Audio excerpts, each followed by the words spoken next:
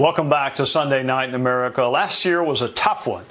The cost to borrow money went up, your investments went down, inflation remains, and a recession may be lurking. Are we getting closer to the end of this economic cycle of pain, or will the new year be a lot like the old year for you and your money? Joining us to better understand the financial forecast for 2023 is the founder, managing partner, and Chief Investment Officer of the Bahnsen Group, David Bahnsen. Welcome to you, Mr. Bahnsen. Thank you for joining us. Do you think things will get better or worse or both in the new year? The answer is probably both, Trey. I think that there will be certain elements that improve. I certainly think inflation will be coming down versus the high levels of last year. And there's a lot of areas that could get much worse. And that's sort of the problem with an economy that's unstable like this. It's legitimate that there's conflicting data. I try not to politicize it. Even as a guy who's kind of on the right, I don't look for negative things in the economy just because there's a Democrat in the White House or what have you.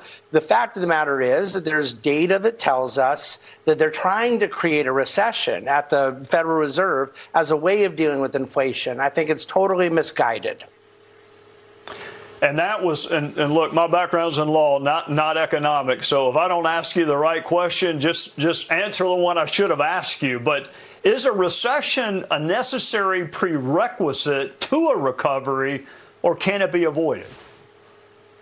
Um, it can be avoided, and those who believe a recession is necessary to deal with inflation don't understand inflation. Oftentimes, a recession does come in and bring things down so much, make the economy so bad that the last thing we're worried about is higher prices. But in this case, Trey, we had a problem in the economy because they shut the economy down the lockdowns and at the COVID moment, we lost the ability in our country to produce new goods and services. Then, of course, the country reopened, thank God, and people went back to their normal lives. But the goods and services were not there to keep up with the demand and it created inflation.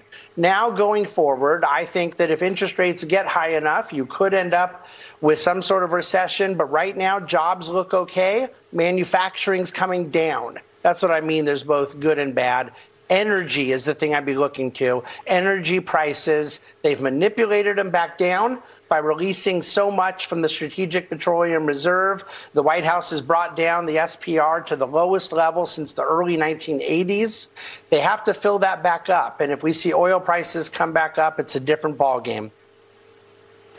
All right, let me try to anticipate what I think some viewers at home may be wondering. We'll start with the housing market. Do you do you expect that to that looks like it's on a little bit of a descent? Do you expect that to continue or or rebound?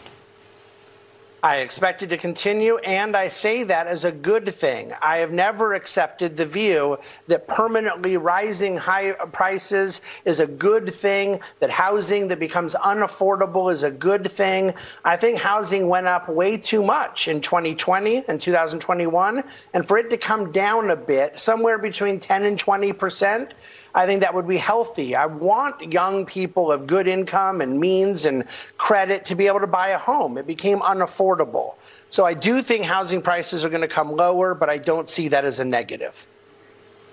For folks that are watching tonight and are wondering, okay, what do I do with any leftover money? I mean, the stock market looks like a roller coaster ride. I'm not getting much interest when I put it in a savings account. Do I do I bury it in the backyard? What do I do with it? Well, burying it in the backyard is distinctly against my religion. New Testament teaching is quite clear. We're not to bury our money, so we should invest it. Stock market's not a roller coaster if it's properly invested in, if there's a long term ability and, and smart, prudent investing.